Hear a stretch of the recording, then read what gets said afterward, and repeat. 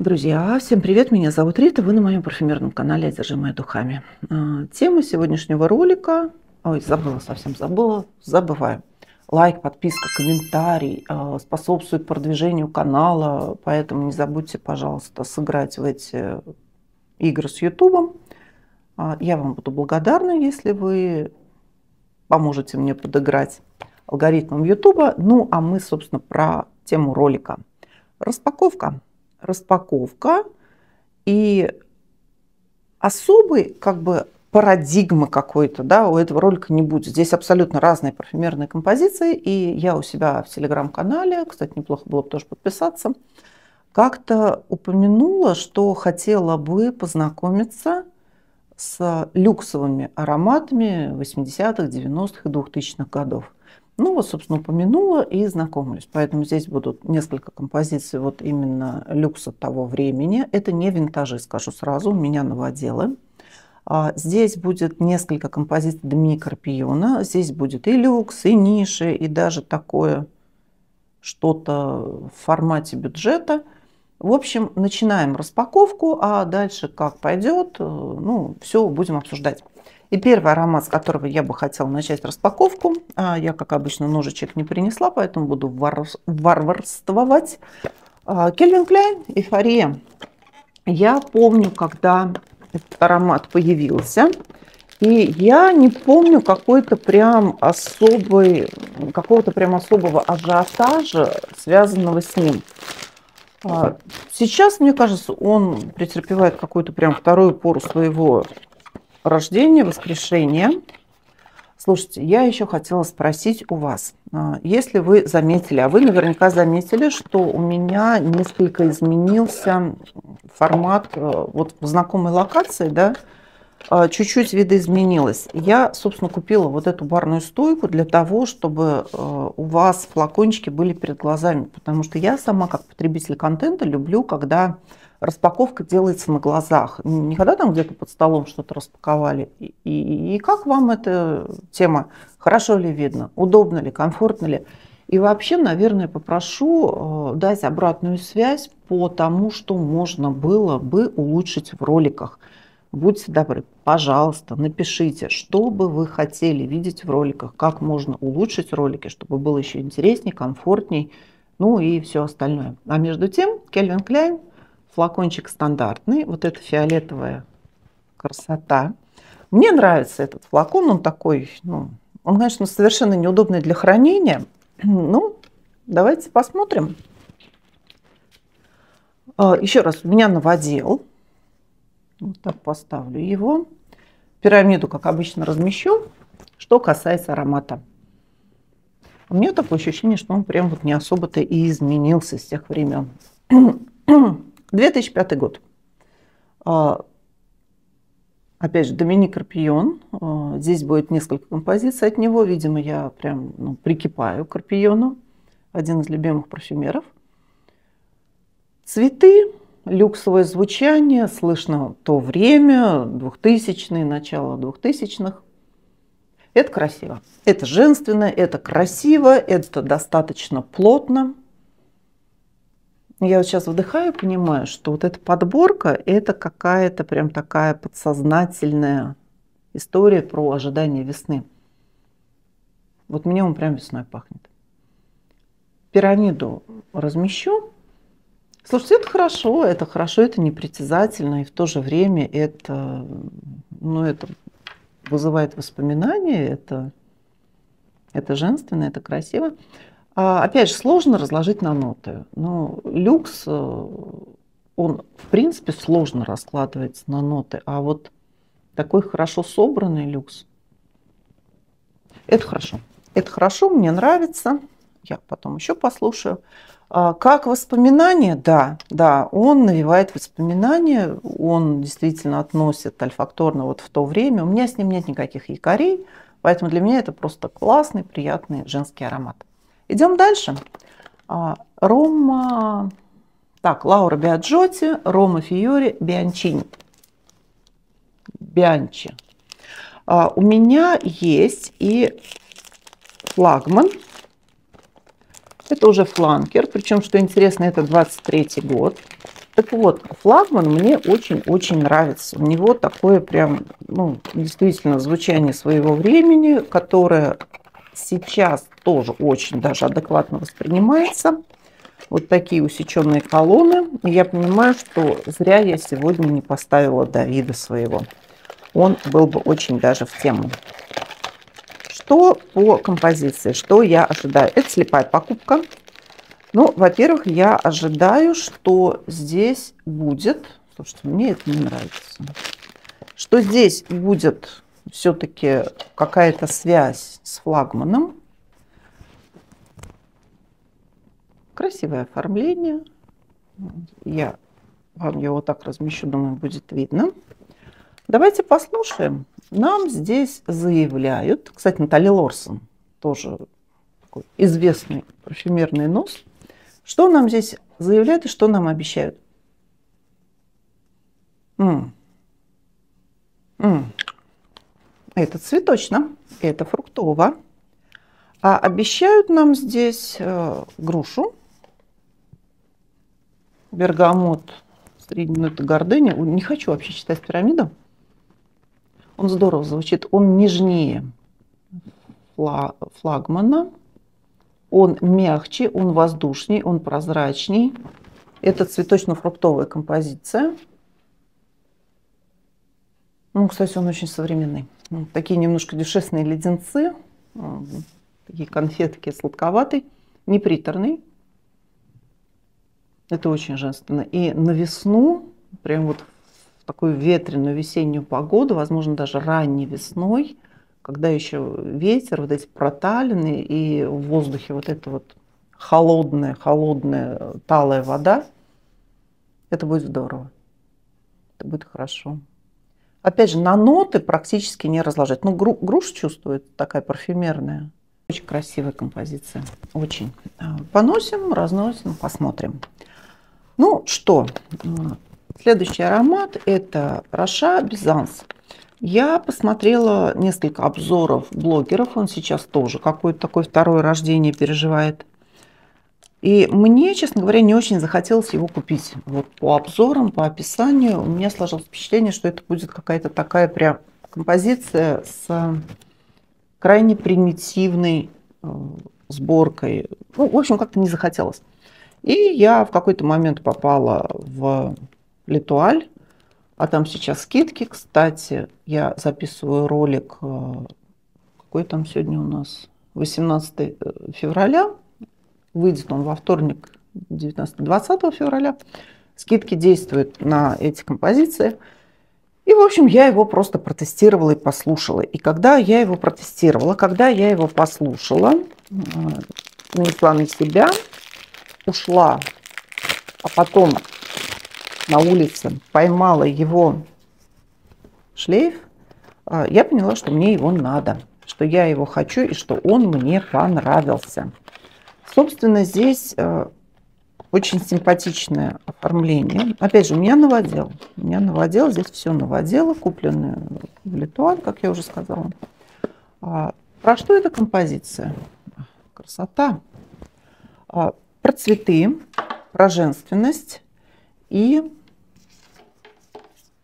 и про действительно вот это настроение люксовых ароматов того времени.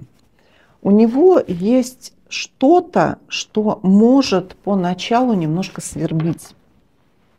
Но потом он раскладывается в такую красивую пудру. Потом он раскладывается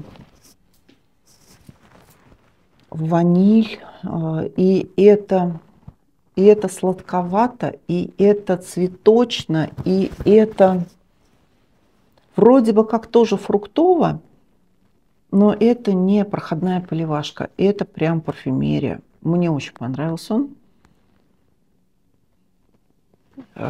Ну, подвисание. Опять же, сказать что-то большее сложновато, потому что композиции люксовые, композиции собраны целостно. И любая нота, которую я бы здесь не называла да, в пирамиде, она будет все-таки звучать очень фантазийно. Но, опять же, женственно. Женственно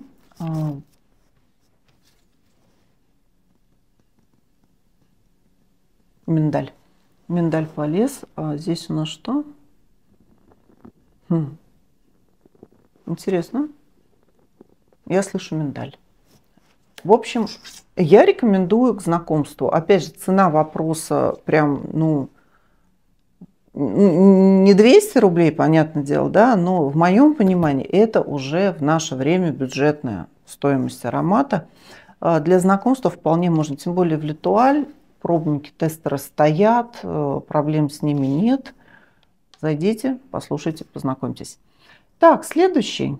Э, следующий. Э, давайте пойдем по Айзенберг. Мне очень нравится вот эта линейка ароматов Айзенберг.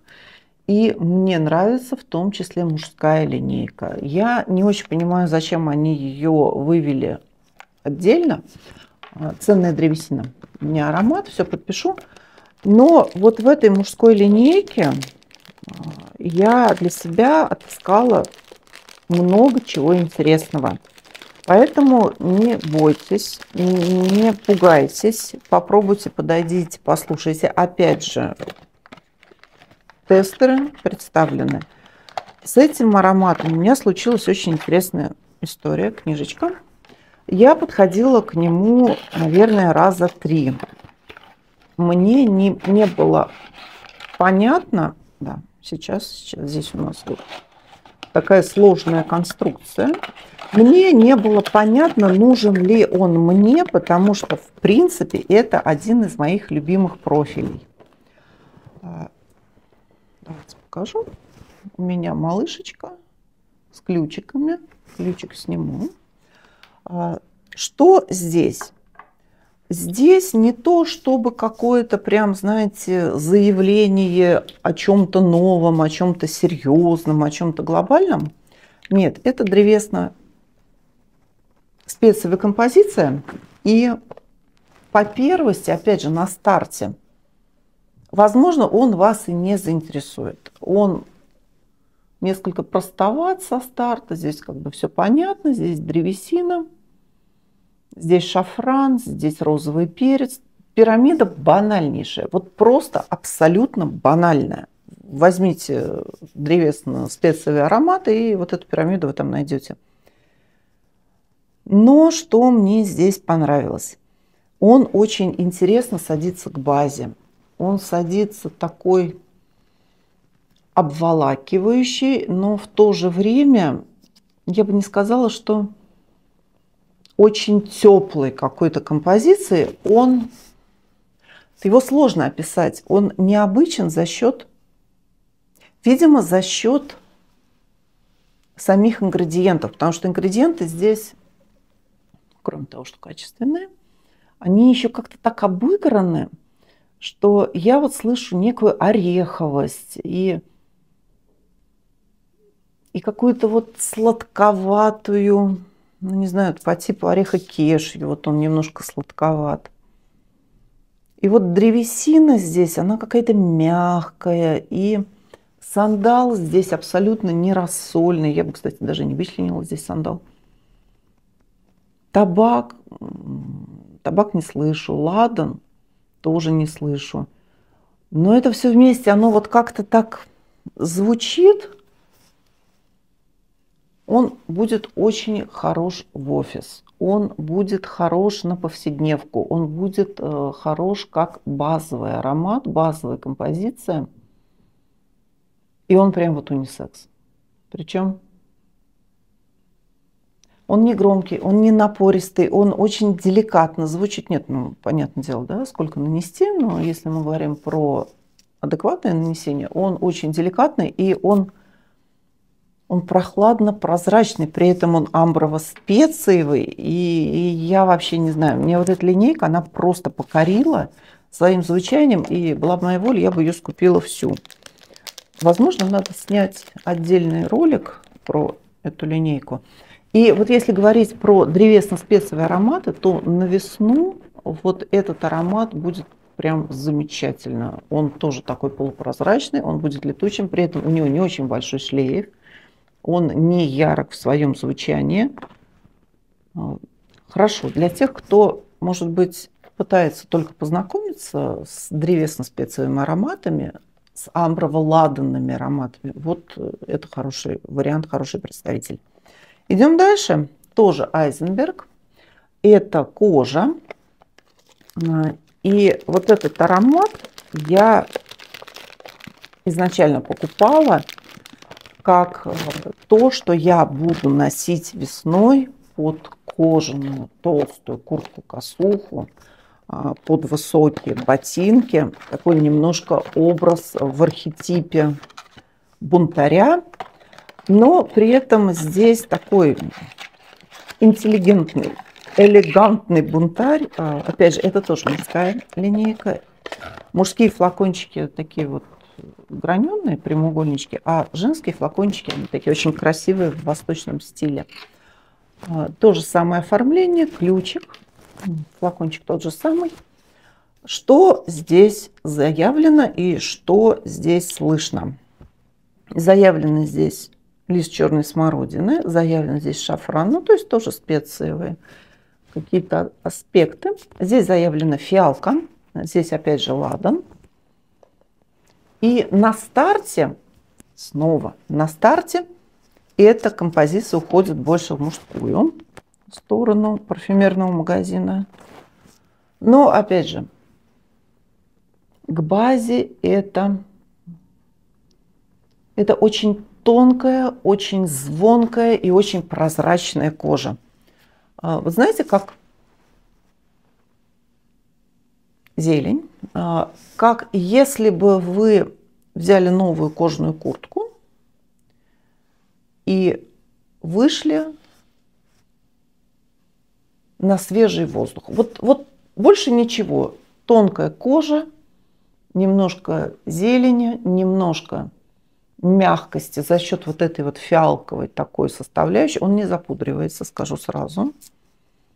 Но и заявленных вот нот э, ладана, лабданума, амбры э, здесь не слышно. И мне очень нравится, что вот когда он уже практически верхние ноты, срединные ноты стихают, базовые ноты, они становятся таким мягким, сладковатым, гурманским ароматом. Это не гурманика прямолинейная, это аспект гурманики в кожаной композиции. Но, опять же, это очень красиво. Это то, что стоит попробовать. И вот этот аромат, он уже унисекс в сторону чуть большей мускулинности. Но он не переходит грань мужского аромата. Хорош. Хорош для тех, кто ищет, опять же, не очень громкие, не очень напористые э, ароматы, э, линейка Айзенберг, вот это то, с чем стоит познакомиться. Причем, что интересно, у них мужская линейка э, более деликатная по звучанию, чем женская. Женская чуть ярче. А вот почерк вот этих композиций – это элегантность, интеллигентность, и они не побеспокоят окружающих посмотрите, познакомьтесь. Хороши, хороши звучат. Не могу сказать, что что-то прям необычное, уникальное. Нет, просто хорошо собранная композиция. Идем дальше. А, давайте, знаете, с чем? Вот с этим.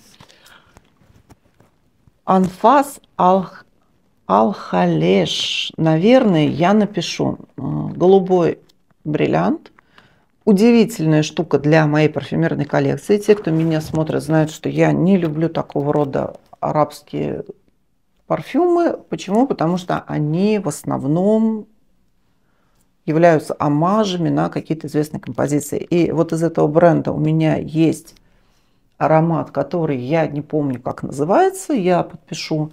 А, это прям родственник Бакары. Бакароид такой, ну, чуть более приглаженный, чуть более понятный, носибельный, но все-таки бакароид. Давайте посмотрим, что здесь. Абсолютно слепая покупка. А, меня здесь привлекла пирамида. А, и, честно говоря, меня привлекло то, что его напрямую ни с чем не сравнивают. Обзоров на него я не видела. Я вообще на этот бренд обзоры не видела. Что нам обещают? Жасмин шафран. Это верха. А, кстати, его на фрагрантике нет. Ноты сердца – это амбр, древесные ноты, и в базе еловая смола и кедр. Ну, естественно, меня здесь привлекли жасминовые нотки заявленные, и меня привлекла еловая смола, которую я люблю. Я вообще люблю вот эту хвою, хвою в ароматах. У них симпатичное оформление, у меня маленькие объемы. Сейчас покажу. Вот такие вот флакончики. Симпатично, симпатично. Немножко такая дешевенькая наклеечка, бумажечка, но давайте послушаем. Опять же, цена симпатичная, цена интересная. На них распространяются все акции Литуаль.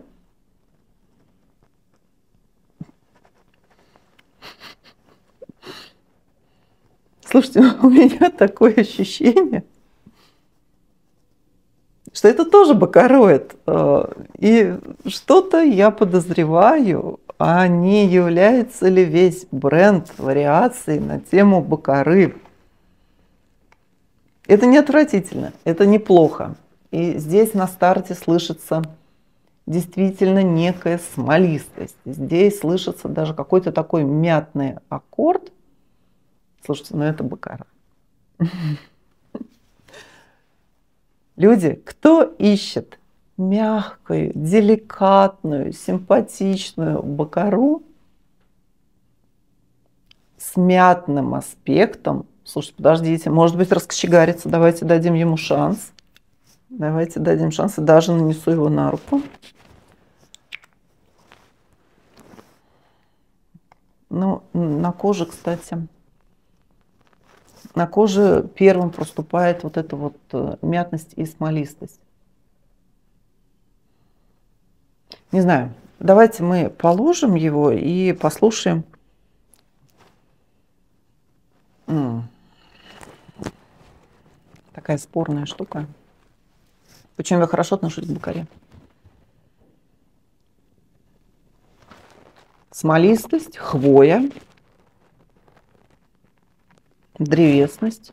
Слушайте, вообще непонятный товарищ. Дадим ему время. Ну и себе смириться с тем, что... Но бакаряные нотки есть. Есть вот эта сладость петушково-карамельная. Вы знаете, неплох. А неплох. Либо принюхалась, либо, либо смирилась. Ладно, идем дальше. Это вообще было развлечение парфюмерное. От него особо ничего не ожидалось. Э, я делала обзор э, на этот бренд Le Bon Gerbois, и я разносила все миниатюрки, которые были, мне присылали на обзор. Очень красивый такой подарочный сет. И я несколько ароматов для себя выбрала. У меня в хотелках еще лежат несколько композиций, но здесь у меня New Wave. И что касается аромата Le Bon Gerbois, а, New Wave. Я его распаковала и после описания поняла, что, к сожалению, не записался звук на видео. Вот сейчас приходится переписывать, поэтому, к сожалению, распаковку я не смогу восстановить, не смогу показать. Но по описанию про этот аромат. А, для тех, кто ищет мяту, для тех, кто ищет красивую мяту в композициях, э, вам сюда. Почерк линейки – это хорошо собранные полупрозрачные композиции.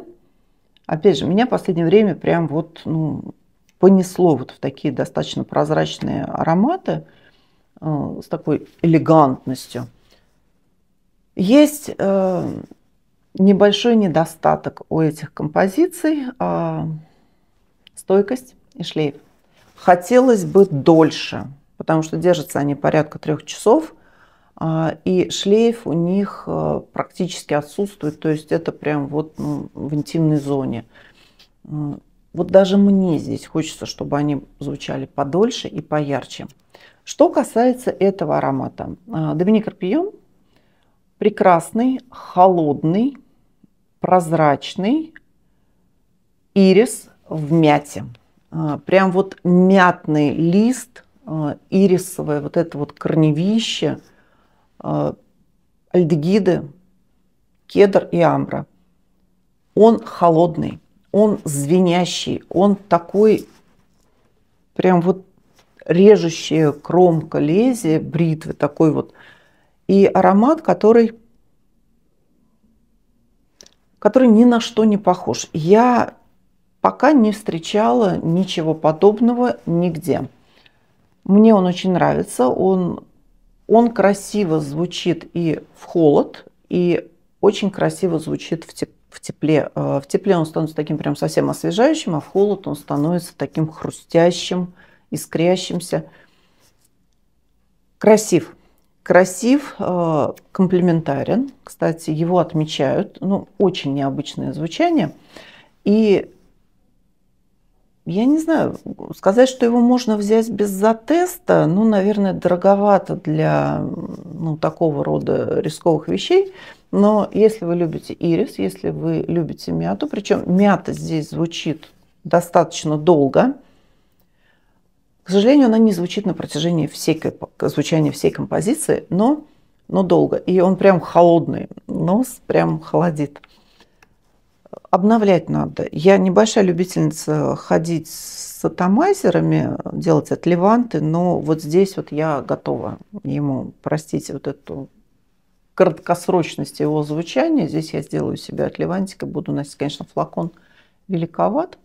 А, и, естественно, как и у большинства нишевых композиций, э, объем только один. И давайте сразу второй аромат из этой же линейки, из, этой же, из этого бренда.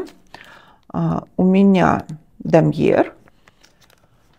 И это уже, а, я вот немножко порвала, когда везла. Я надеюсь, что сейчас запишется распаковка. Прошлая была примерно такая же. И это композиция, которую я думала, приобретать или не приобретать. И объясню почему. Сейчас очень толстая слюда, очень сильно шуршит. Объясню почему. Он мне по своему настроению напомнил один из ароматов э, из линейки Pa Collection. Э, я размещу его название. И смысл этих парфюмерных композиций в том, что здесь заявлено сочетание кожи, или я путаю, подождите, подождите.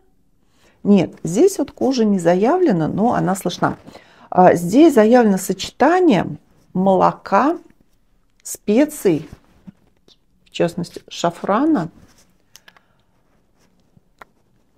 и, и сандала. И вот этот аромат, а, вот он действительно такой. А, я не могу сказать, что аромат из Pack Collection, я просто не помню сейчас, как он называется, а, прям клон этого аромата или этот клон того аромата, но они звучат примерно в одном направлении, но здесь больший яркости, здесь больше качества. При всем моем уважении к линейке по Collection компоненты, ингредиенты там не самые дорогие. Что могу сказать про этот аромат? Вот это то, что ни в коем случае нельзя брать без затеста.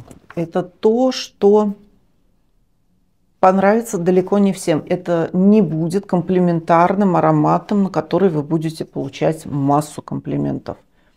Почему? Потому что здесь на старте звучание такое аптечное, травянистое.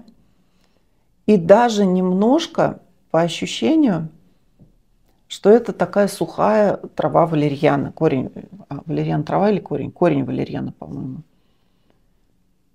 Это занятно, это прикольно, но это нужно суметь на себя нанести, и это нужно суметь носить.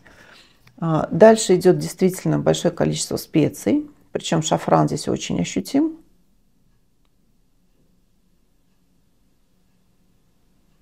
Причем, что интересно, он здесь не заявлен, но он очень чувствуется. Здесь солоноватый сандал, здесь много кедра, здесь есть пачули. И это аромат, который постоянно меняется, постоянно трансформируется. Вот сказать, а, что вы слышите в данный момент, э, может быть, и не представляется возможным. И вот эта игра, она завораживает. Вот эта игра, она как раз и делает его необычным. И здесь вот мне нравится то, что он не очень громко звучит. Мне здесь нравится, что он не очень долго держится в своих вот верхних нотах. Потому что, еще раз, да, это такой немножко корень валерьяны аптека – но при этом он хорош. А, для кого-то, возможно, он будет больше в мужскую сторону. А, я такие вещи люблю. Я, я люблю вот эту аптечность в ароматах, мне нравится травность, и у меня здесь по ощущению даже есть какой-то элемент бессмертника. Он хороший для любителей травок, для любителей зелий вот этих вот ведьмовских – а, можно познакомиться, но, опять же, ни в коем случае без затеста не брать. Сложновато. И он тоже так немножко охлаждает нос. Дальше. А дальше у меня композиция от Фугаси. Парфюм номер один. У меня, опять же, есть э, travel, не travel set, а сет для знакомства вот этого бренда – я подумывала снять обзор, но я поняла, что пока я его разнашивала, что большинство композиций мне вообще не понравились. Очень-очень своеобразный бренд, э, конечно, ниша. И в моем восприятии совершенно непонятно. Я не поняла его концепцию. Очень разношерстные композиции – я не увидела его почерк. Но опять же, возможно, это я не увидела почерк, возможно, это я не поняла концепцию. И я пока, вот кроме одного аромата для себя, не нашла больше ничего. Оформление вот такое. Все флакончики примерно одинаковые. Э, не примерно, они одинаковые. И что здесь? Здесь очень несложная, очень комплементарная композиция. Про, опять же, меня как-то унесло в древесно-специевые ароматы. Про цитрусы, про мяту, про специи, про сладость э, амбры, алибанума, про цветы. Но, опять же, здесь такой замес всего. Поэтому я не могу сказать, про что эта композиция. Э, почему, собственно, я выбрала ее. Необычно. Вот настолько необычно, настолько ни на что не похоже. Там вообще композиции ни на что не похожи. А, там вообще, вот э, если мы, ну как мы, я страдаю от того, что сейчас огромное количество на рынке э, брендов, которые просто берут и копируют, копируют, копируют, копируют. Вот это вообще не копирует. Э, вот это настолько самобытная фирма, которая выпускает парфюмерию. Сладковатый, фантазийно-цветочный –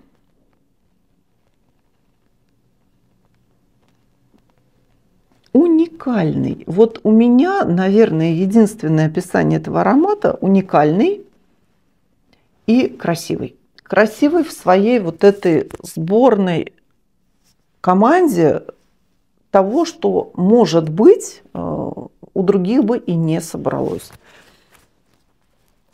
Э, в базе присаживается достаточно близко к коже. Э, опять же, шлейф, он более шлейфовый, чем Le Bon Gerbois но, но опять же, не кричащий, не напористый. И вот, вот, вот хочется, вот прям обонять его хочется. Есть в нем ощущение необычности. А, вот, вот прям попробуйте его, найдите от Левантик, может быть, а может быть, э, прикупите сет, он, кстати, не особо дорогой, и, опять же, на него распространяются скидки.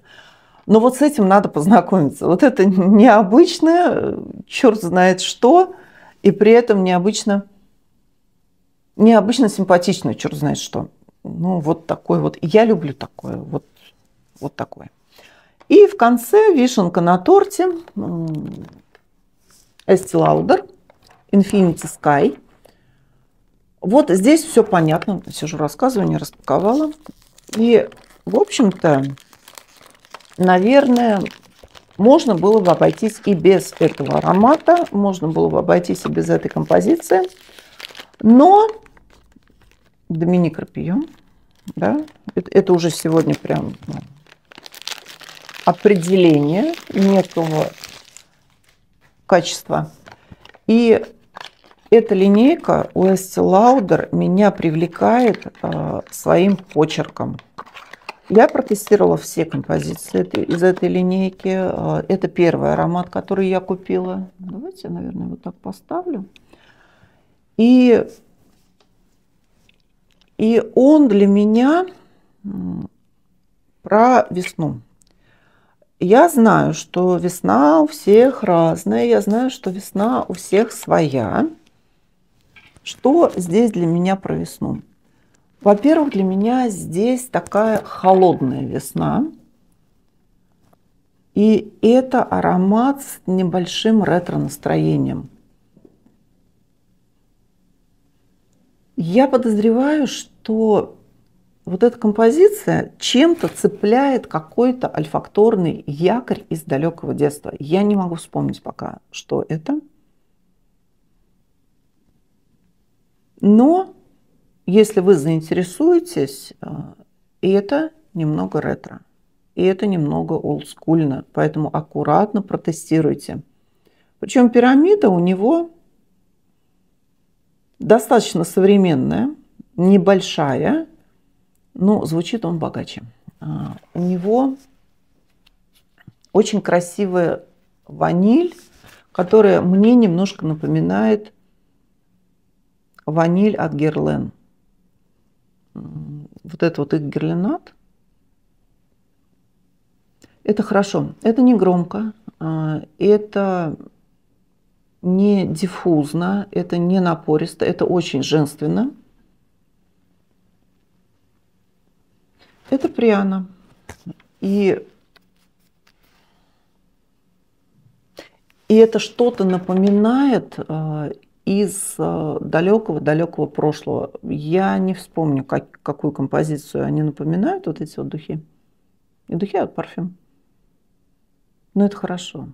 Вся линейка выполнена хорошо, вся линейка очень красивая, но есть вот этот почерк небольшого ретро. Познакомьтесь, посмотрите, опять же, благо представленные в доступе, познакомиться можно без проблем.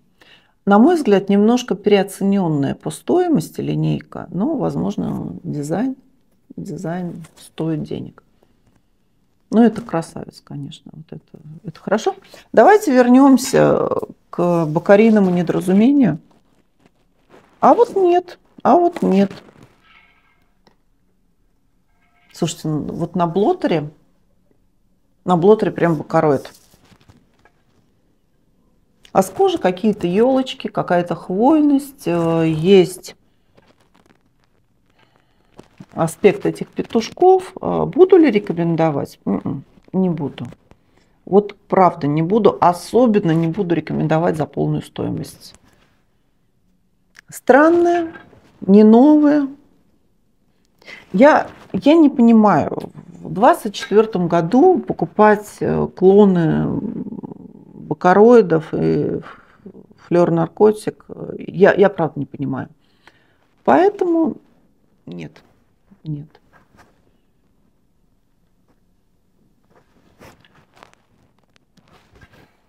Ну, вот совсем нет.